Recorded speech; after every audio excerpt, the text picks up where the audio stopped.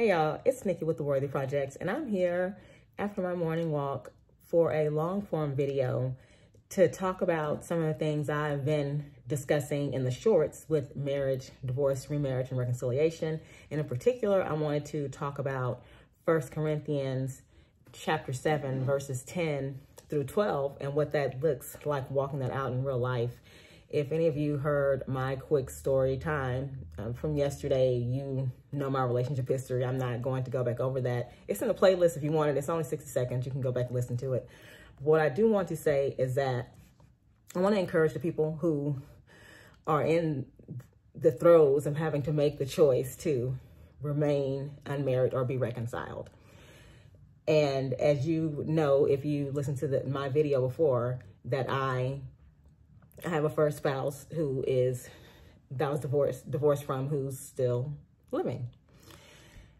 Now, I don't agree with people who say Deuteronomy 24 prohibits all, um, pro, uh, you know, pro prohibits people who uh, from reconciling with their first spouse if there was another uh, marriage or if someone died or anything like that because I was remarried after um, we got divorced and he is deceased. But I'm not under Israelite law. Christ living the perfect life, dying a tragic death, resurrecting himself and seating himself at the right hand of God, uh, freed me, if I were even under it in the first place, from having to do anything with the law. But again, I was never under it because I'm a Gentile. So I know some people still say that uh, Deuteronomy 24, if you do divorce and remarry someone else, you can't um, you can't remarry your first spouse or whatever. I don't I don't agree with that. Anyway, it's another video. But after I now that I've detoxed my life from years years of false teaching and seeing leaders not conform to scripture and then teaching, you know, the people who were gathered wrongly through their behavior as well as through their outright teachings.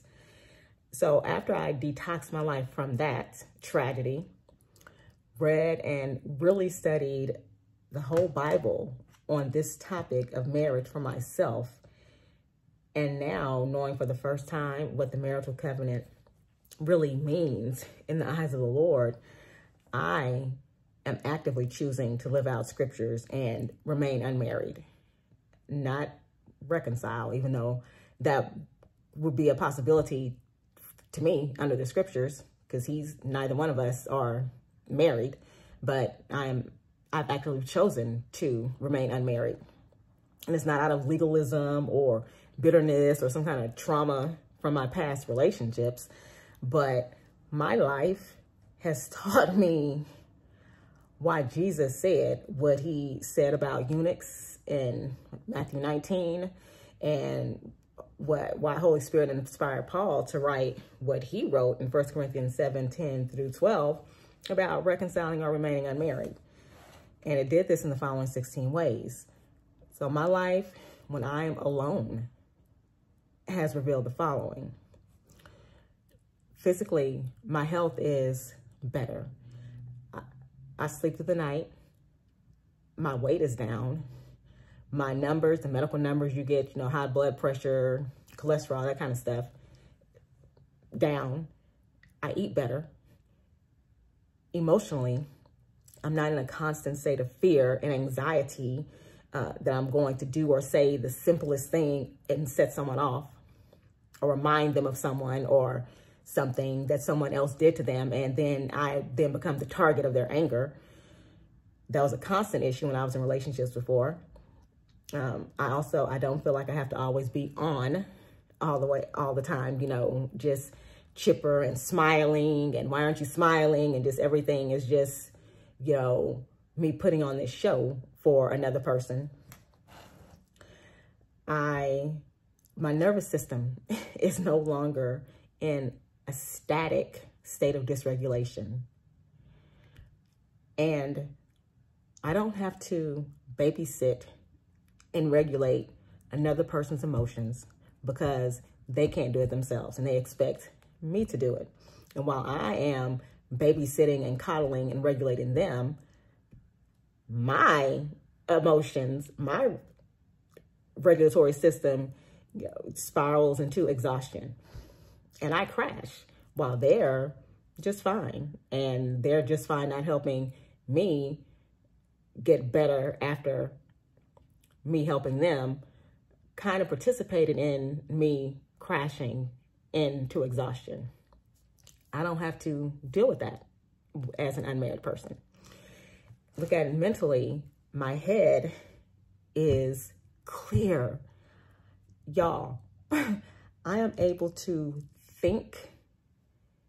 I don't know if y'all know what a blessing it is to think and to reason and not just be on some emotional, chaotic, confusing roller coaster with people, especially if you're talking about a relationship where you're with people who are really into saying things are Holy Spirit.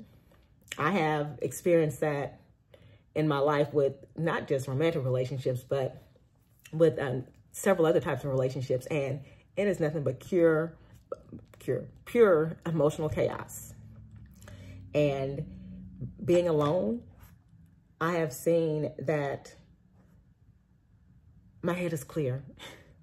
I am able to think with my frontal, you know, with my frontal cortex, my frontal lobe, instead of instantly reacting out of fight, flight, freeze, or fawn because I don't know how this other person I'm in this relationship is, is going to react to something. So I'm trying to maneuver myself, make sure that I'm doing exactly what it is I need to do to make sure they're okay when, when I'm not okay. I don't have to deal with that being unmarried. Socially, I enjoy fellowshipping with the community of strong believers around me. That is something I never experienced in any of my adult relationships, any of my adult um, romantic relationships. I did not experience a strong community of believers around me where there was friendship involved. And, but by myself, I am really flourishing. And people, it's funny because people are like, oh, well, you know, you're an extrovert, Nicole. And I'm just like, you know, it's interesting because I wonder, because as I've worked through a whole lot of trauma and I've been able to do that being by myself, you know, working through my trauma and you know, childhood stuff, adulthood stuff, you know, relationship stuff, all that. And not just that, but having the opportunity now because I have time, I'm not so distracted to spend with the Lord and in his word and just bask in his presence, not an NAR, NAR kind of basking stuff. We're not doing that. Let's be clear. But just to be in his presence and read his word, emphasis on reading his word because his word is beautiful and he gives it to us for our protection, really. So I would suggest reading it and doing what it says because I wish I did because I always find it in the end that it was right and everything it said. And it actually has covered everything in my life. So yeah. Anyway, sorry for the tangent.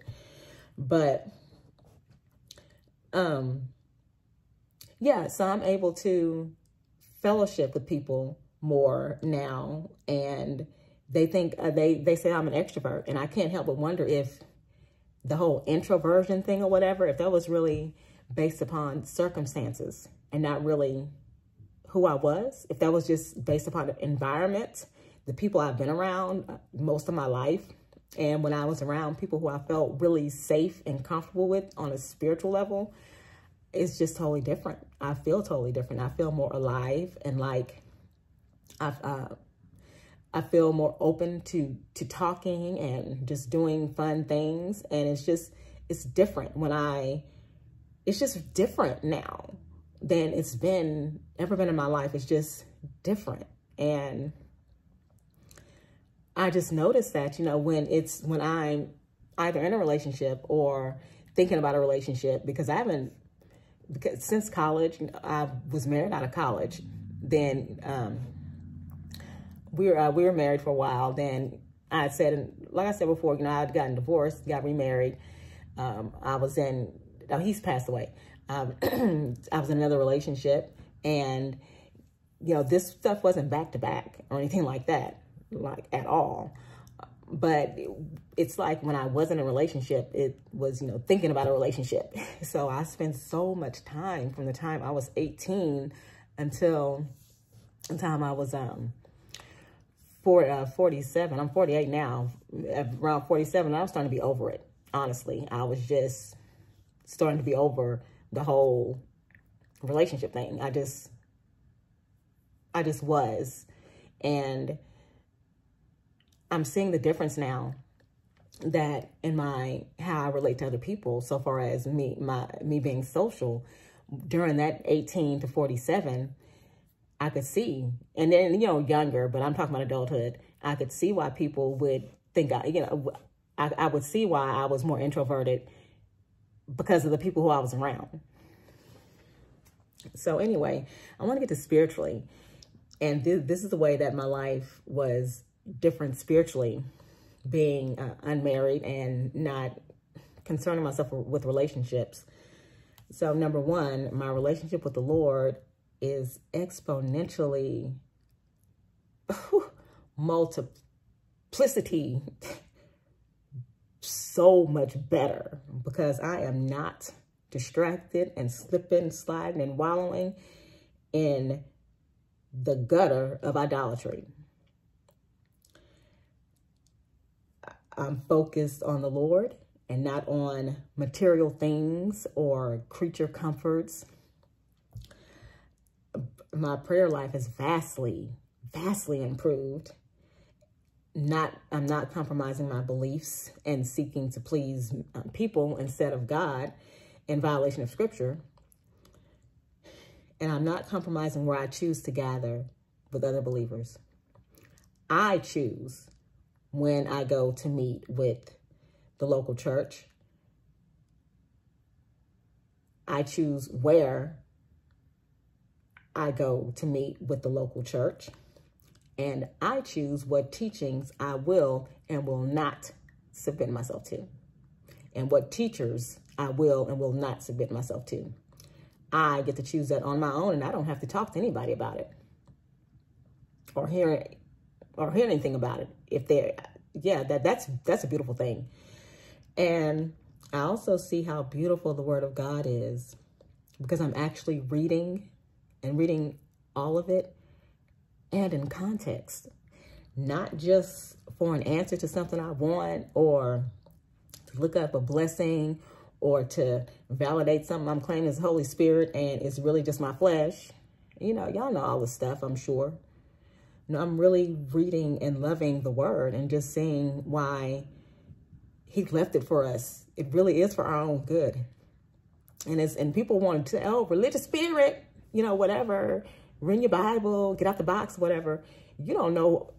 There's a reason kids like playing with boxes and not the shiny toys that come out of them. Baby, the box called the Bible, let me tell you something. You need to read it because it will blow your mind away and yeah, it has some hard sayings, but you know, it's like we want the perks, but we don't want the problems problems of Christianity. And it tells us that we're going to suffer, we're going to have problems, but we also have joy, especially in the Lord.